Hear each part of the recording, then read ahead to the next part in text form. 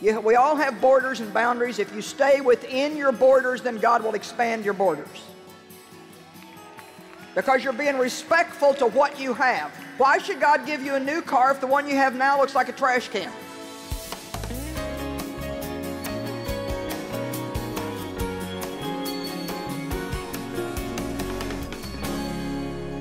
We see that wisdom is exercised in the choices that we make. Let's talk about five areas. Five areas where we need to use wisdom because wise choices release power in our life. First area I want to talk to you about is using wisdom in time management. You know, everybody's got the same amount of time. Every single person on the planet gets 24 hours a day. So, why is it that some people accomplish so much and some people accomplish nothing? Why is it that some people are peaceful and they seem to get a fair amount done, but they enjoy the journey?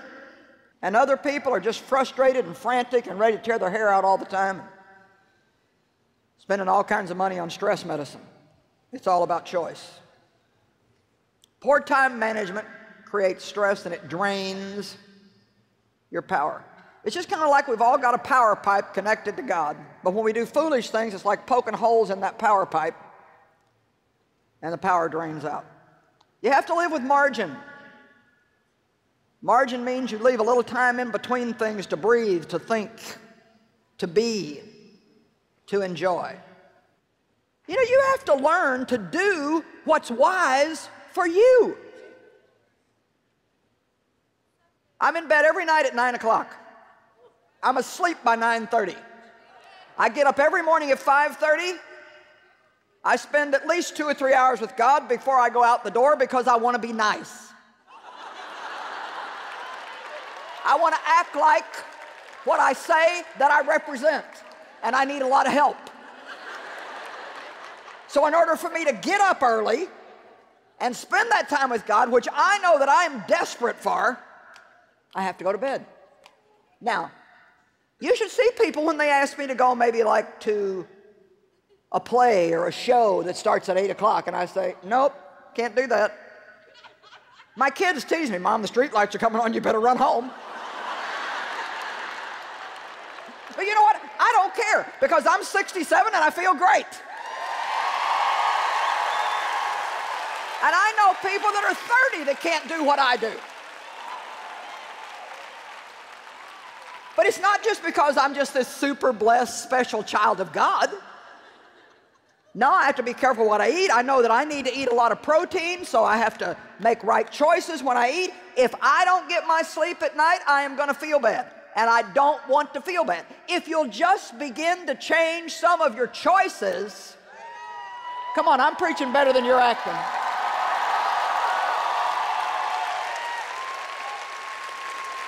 Okay, so God, you say, God, why am I feeling so bad?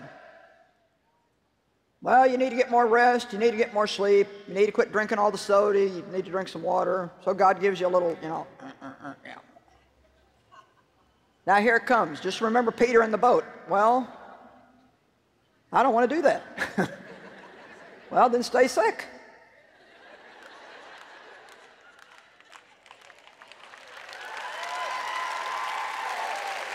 Well, there's a, there's a healer coming to town next week. I'm going to go to his meeting and get in the prayer line. Oh, come on. We need to grow up. We can't live stupid. Philippians 1:10 Paul prayed for the church and I'm going to pray for you this morning. Not what you might like, but what Paul prayed for the church and this is what he said. So I pray that your love would abound yet more and more and extend to its fullest development in knowledge and all keen insight. That your love might display itself in a greater depth of acquaintance and more comprehensive discernment. This scripture is even saying that, that our love is manifested in us making wise and better choices so that you may surely learn to sense what is vital and approve and prize what is excellent and of real value, recognizing the highest and the best and distinguishing the moral differences Paul just prayed for them that they'd make good choices, excellent choices. He didn't pray for their problems to go away, he prayed they'd make better choices. Are you with me today? If we start making better choices, then we won't have a problem every time we turn around. Now, we're still going to have problems, and we still want to pray, but I don't want to live in the prayer line. Poor time management causes all kinds of problems. If you hear yourself complaining about how busy you are all the time, then change it. You want to know the truth? I got tired of hearing myself talk about how busy I was. And I'm frankly tired of hearing other people talk about how busy they are. How have you been, brother? Busy. Where have you been, sister? Busy. It's like, if that's all we have to say about our life, that's pretty sad. Let's talk about wisdom and finances.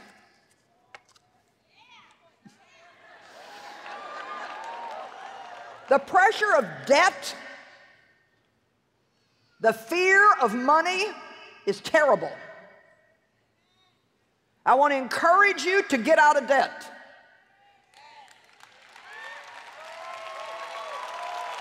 And do not just go to some miracle debt cancellation church service.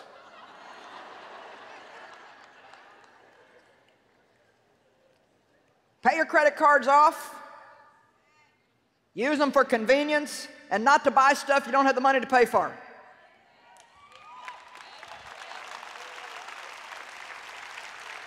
Now, I know this is hard for some of you because you've already got a mess. And I know how you feel. We had one too at one time. When Dave and I had only been married a few years, he didn't, he didn't really want credit cards. I talked him into it. The power of a woman is amazing. and sure enough, pretty soon we had big balances on these credit cards, and they were pressuring us. You pay the smallest amount you can every month. The next month you owe more than you did the last month. So he just made a firm decision that we were going to pay them off. And I'm telling you the truth, for two or three years, we had to live very, very, very, very lean, and we were already living pretty lean to start with. And ever since that, we've never had a balance on a credit card that we didn't pay off at the end of the month. And I don't tell you that bragging. I don't tell you that to make you feel bad because I know that's not the case for a lot of you, but I want you to know that it's possible for you. And if you don't believe it's possible, then you'll never do it. It's possible for you to save money and pay cash for what you want. It's possible. You could save money and pay cash for your next automobile. You're gone. You could save money for that. It's so easy to just say charge it, but the bill is going to come. Do I need to be in this section? The bill is going to come. I don't want to see people in a situation where if they lose their job, they have to just get afraid and panic. Have an emergency fund where you've got some money in it. Don't spend every penny you have. Dave has a good little common sense way of managing money. He has a 12th grade education, but he's one of the best money managers I've ever seen. It's not complicated. He didn't have to go take a college course on managing money. Here's his philosophy save some, spend some, give some. Isn't that hard? Now,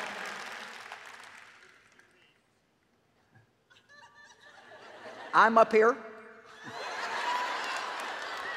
He said, within your means. Well, yes, obviously within your means. Save some, spend some, give some within your means. You, we all have borders and boundaries. If you stay within your borders, then God will expand your borders. Because you're being respectful to what you have. Why should God give you a new car if the one you have now looks like a trash can? Amen? You might think, well, this isn't very spiritual. Well, yeah, it is. I'm teaching you how to live. I'm teaching you how to get the pressure out of your life. These are all biblical principles. The Bible talks about saving enough that you can give an inheritance to your children's children. It's that a good man leaves an inheritance for his children's children. You shouldn't have to be afraid of what you're going to do when, when you retire. And if you don't do something now, everybody say now. now. If you don't do something now, say now, now. then you will. Someday you're going to get old.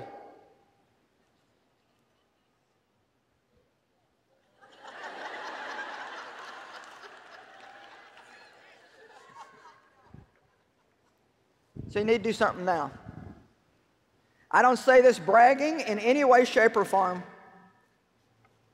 but just to let you know what's possible if you'll have the patience to wait. See, nobody's ever going to stay out of debt if they don't have the patience to wait. Amen? Patience is power. When you can be patient, that's a powerful life. The only money that we have ever borrowed in this ministry, and we, we actually didn't borrow it, we made payments on a $500 copy machine that we bought from a Baptist church in the very beginning of our ministry. And we made 10 $50 payments on that. And that's the only thing in 30 years of ministry that we've ever borrowed.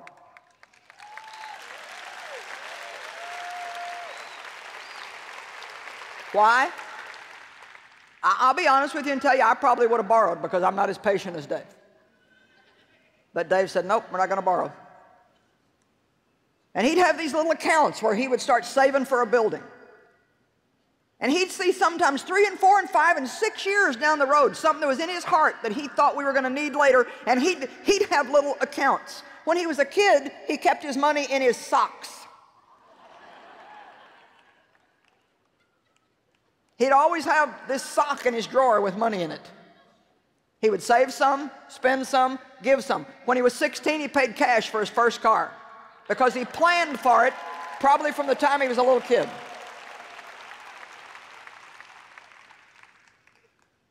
Some people don't know how to save everything, they spend everything. Some people don't give anything. The Bible says plainly in Malachi 3 do not rob God by withholding your, your tithes and offerings. Somebody right away says, Well, I don't believe in tithing, that's Old Testament. Why, you silly thing, dude, you're just trying to get out of giving. I mean, if they could tithe under the law, what would, should we be doing under grace?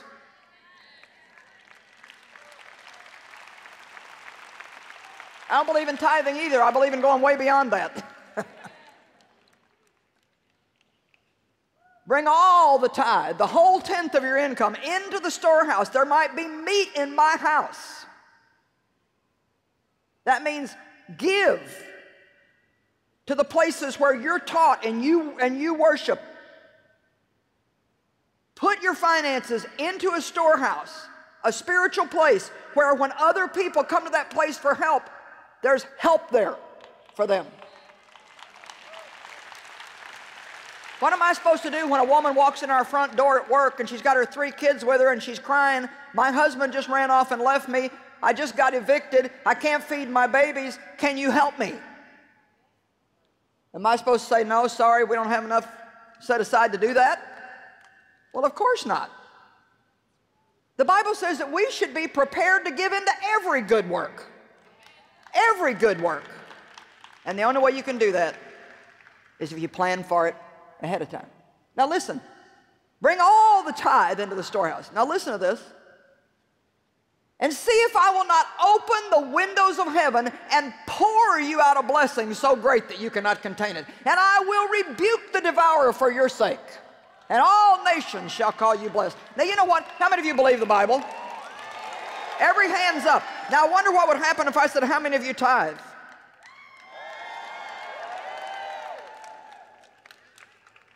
There's actually more Christians who don't than do, you know. Actually, statistically, they say, whoever they are, that only about 20% of Christians Tithe. But we all believe the Bible. Okay, so why don't we do that? What an awesome promise. I will rebuke the devourer for your sake. I will open the windows of heaven. If you don't give God that 10%, the devil's going to steal it. Hello? If you don't give God that 10%, the devil's going to steal it. And if you do give it to God, then the 90% that you've got left that He lets you keep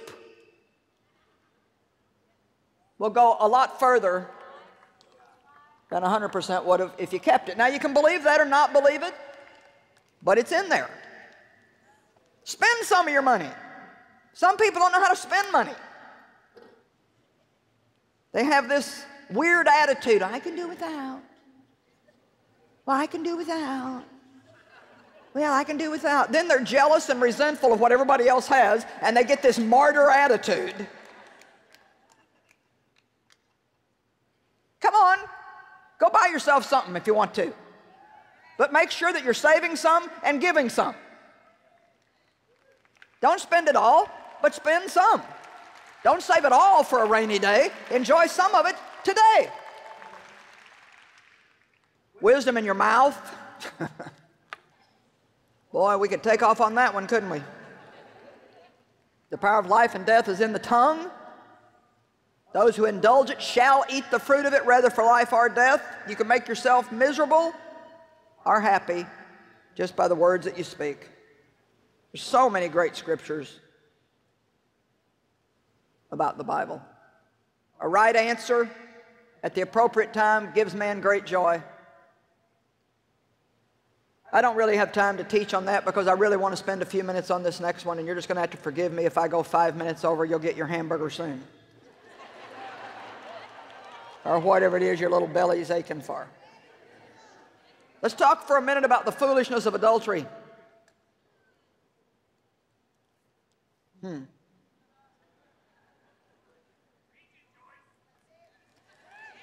Proverbs 6:32. Some kind of scares me sometimes when people are that quiet. But whoever commits adultery with a woman lacks heart and understanding, moral principle and prudence. He who does it is destroying his own life. now, why would anybody do that? Because they felt like it. Lust, a feeling, Dave and I laughed, and it, it was cute and funny, but it was also precious. A friend of ours, our son, recently graduated from Teen Challenge. He'd been having a problem with drugs, and he did so well in the program, and they taught him a lot of things, and one of the things they really taught him was how to flee from temptation. and they must have pressed that one a lot. Flee from temptation.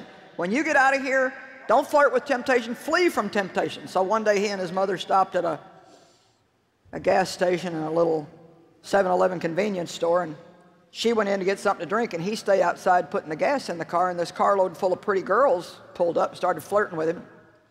He ran into the 7-Eleven where, where his mother was at. and she said, what's the matter? He said, I'm fleeing. she said, what do you mean you're fleeing? I mean, that's just what he said. I'm fleeing. He had had that put in his head flee from temptation, flee from temptation. And he literally ran from those girls. And maybe some of us adults need to run. Use wisdom. If you've got a wife at home and three little kids, and maybe your wife's gained 10 pounds from having your three kids, You don't need to be carpooling every day with a 25 year old cutie with a short skirt and a low blouse.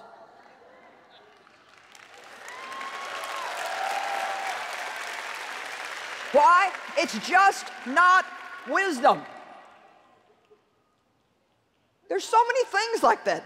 Oh, I'll, I'll never have a problem. Come on, don't trust yourself too much. You do have a flesh. And if you start to feel the least little bit of temptation, people don't fall into adultery, they walk into it.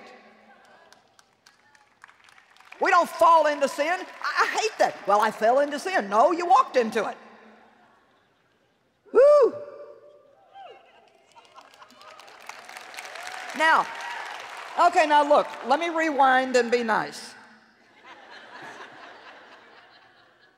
If you're in debt, there's no condemnation, you can get out. If anybody watching my television or anybody in the building, if you've been involved in adultery, it's not the end of your life, you can be forgiven. But to be honest with you, it's kind of proven that sometimes once somebody gives in to a temptation like that, it even makes it more difficult the next time. So I am preaching this to you for your benefit because people usually don't like to get up and say stuff like this, but somebody has to say it.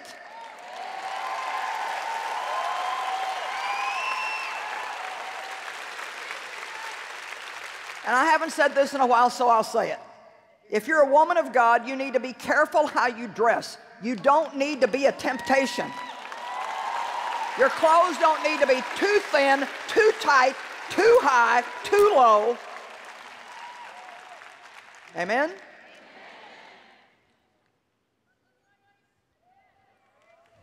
Go look at yourself in the mirror and don't say, Do I look sexy? Say, Do I represent God? And is He going to be pleased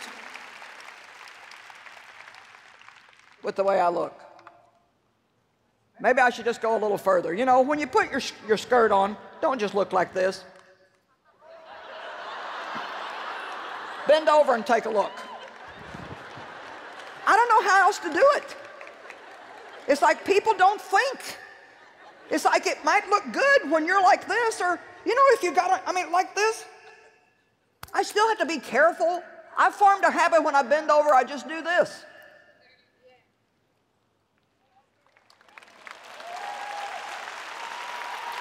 Well, I never thought of that. Well, maybe your mama didn't tell you, so I'm taking the role this morning, if you don't mind, and I'm saying,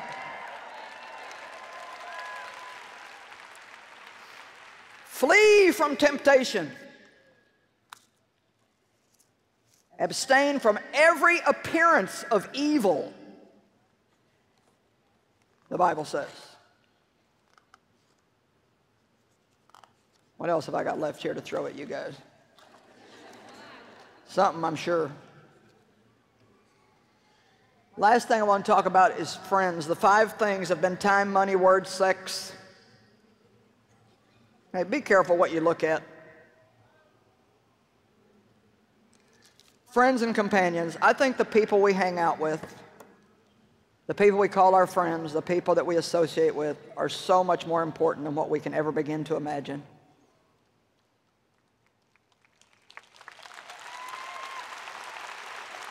Iron sharpens iron. Be with somebody that's going to, just by their lifestyle, is going to encourage you and provoke you to come up higher and be more excellent. You know, one of the girls that works for me, and I spend a lot of time with her, she says to me, just being around you has made me a better person. Now, that's a great compliment. And I think that's the kind of compliments we all should have. Just being around you has made me a better person. It's made me more excellent. It's helped me in the way that I treat people. If you're around somebody that's rude, you're going to think it's okay to be rude. But if you're around people with good manners, pretty soon you'll get better manners. Some of you can improve your life drastically just by choosing some better friends. And you'd be better off to stay home alone and be lonely than to be with wrong people. Amen? Everybody shout out real loud, wisdom!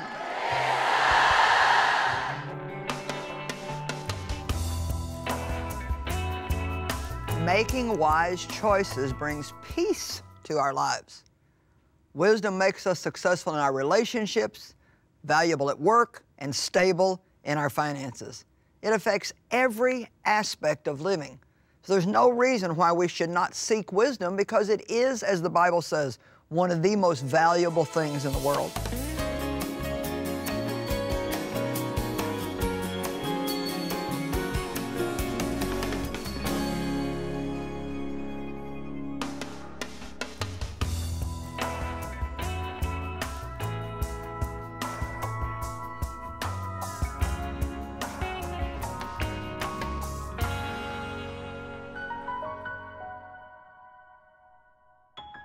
Well, we're in Rwanda at the Kingdom Education Center where we're being permitted by the grace of God to work with these beautiful children here. And one of the things that they're teaching the children is that the healing of a nation begins with receiving the love of Jesus Christ and by forgiving. That's the way we can help every nation that's hurting, is by teaching them to love God and to love other people. And the best place to start is with the children. Thank you so much for helping us give these children a new life so this can be a brand new nation. God bless you.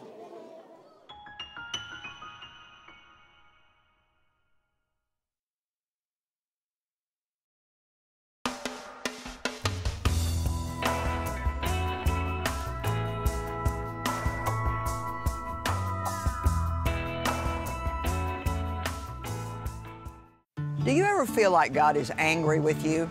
This is a widespread problem both inside the church and outside of the church. An understanding of God's love will set you free from guilt and condemnation. So many people run from God in fear rather than running toward God. Decide right now that you won't spend another day in fear and know that God is not mad at you. Bestel nu God is niet boos op jou via onze website joyce-meyer.nl of bel 026 2022 100. Een dag begint pas goed met een goed ontbijt. En een dagelijkse overdenking van Joyce. Nieuwe impulsen en bemoedigende gedachten die je zullen sterken tijdens je dag. Abonneer je gratis op de overdenkingen op joyce-meyer.nl slash overdenking of op Facebook. Begin je dag goed. Het is het waard.